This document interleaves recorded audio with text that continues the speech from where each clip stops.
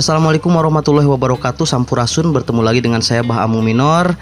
Trik kali ini yaitu cara merubah tool edit dengan cepat.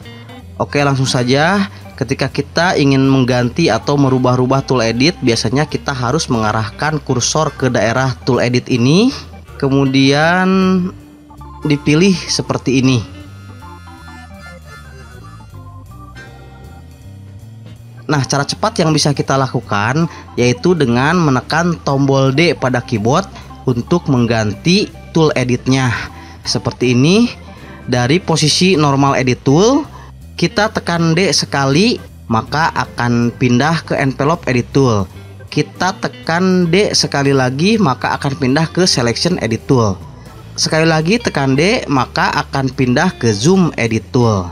Nah, ketika di posisi zoom edit tool, Bila kita tekan D, maka akan kembali ke posisi normal edit tool. Dan kita juga bisa melompat pilihan dengan menekan dua kali atau tiga kali tombol D ini.